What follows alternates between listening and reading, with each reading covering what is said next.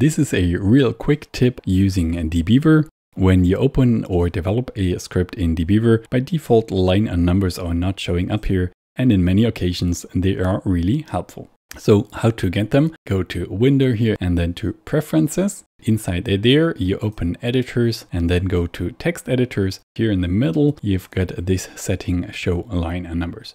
Check this box and then click apply and close. From then on, in any of your scripts that you already have open or may develop, you will have line and numbers showing up. That's it for this quick tip. Have fun developing with DBeaver. See you in the next video.